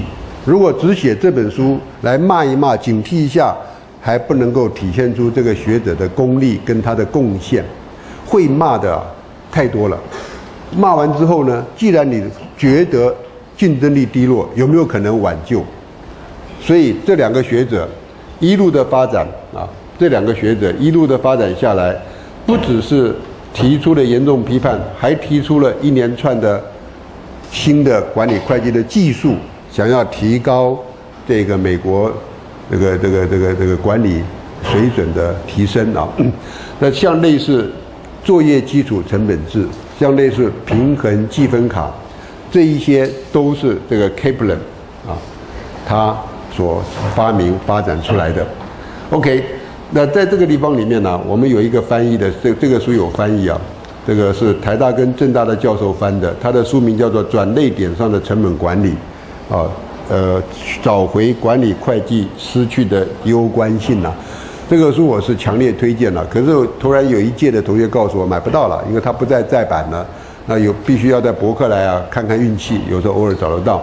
之后啊，又有一连串的教科书出现了，这些教科书的名字很奇怪，叫做成本管理会计，它到底是成本还是管理会计不晓得，或者管理成本会计，或者策略管理会计，甚至还有策略成本会计都出来了。那对我的对我的角度来讲的话，其实蛮简单的。我站在那个书店里面，一堆这些奇奇怪怪的，又有成本又有管理的这种会计书啊，我去翻。如果翻到里面呢，都在做分录的，啊，怎么样子从材料的采购一路到所谓的产品的生产的结算，都有会计分录，就是用会计法则来做分录的，我就把它定位为你是成本会计管理，叫做成本管理会计还是管理成本会计？那如果从头到尾看不到一个分录，都是用计算的数字而没有会计分录的话，你就是管理会计。我用这个角度来分，就不会迷惑了。否则同学去看看，还真的有这些书啊。跟着来看管理会计与作业啊，那定义啊，管理会计的定义，管理会计的定义按照美国会计学会 Triple A 啊，它的定义，这个定义其实也很早了，大概一九六零年代的定义，不过到今天还可以用。基本上就是说，我们透过适当的观念技术啊，来这个收集会计的这个这个资料，来做合理的经济的目标制定，然后理那个那个拟定理性的决策，达到企业的目标等等啊。这个定义大概还是四平八稳的。那另外，它与相关的学术领域的关系啊，管理会计啊，这个这是一本，也是一个从那个。呃呃，中文的教科书，可是当年没有注意到，所以再去找就找不到从哪里出来的。它是用这个图来画啊，就是说管理会计跟成本会计跟财务会计这个蓝色的、红色跟紫色的有关。那报表分析、审计跟税务会计跟管理会计无关啊。其实到今天为止，这个资料应该很旧了。今天来讲的话，报表分析啊，已经也拉近了跟管理会计相关的，它必须有交集。一方面是跟会计领域里面哪些相关，管理会计导致跟审计及税务会计啊就隔得比较远，没有直接的关系。那要把管理会计学好的话，除了我们自己这个科目以外，我们还需要加强一些其他的科目，包含了管理学、经济学、社会学、心理学等等，因为它是管理跟会计两个概念啊。这个会计本身大概还容易学，那剩下的管理呢，就要从这些领域里面去学习了。在这学习的过程里面呢，有人问我说：“这么多都要读吗？”那如果说这按照重要性来分，老师你推荐你觉得哪一个比较重要？想把管理会计要学好，除了管理会计本身的知识之外，还要学好哪一个？那我只能跟各位同学讲，按照我的经验法则，心理学如果有机会的话，最好也去学一下。我不知道我们学校有没有开心理学的课，有的话尽量去听听看、修修看。除非你是心理学天才、天生的很厉害的人。什么叫做心理学？呃，也不要学很学术性的，只要透过心理分析了解别人的这种肢体语言、讲话的方式、他的行为，透露出他背后的意涵，你能够分析就已经不。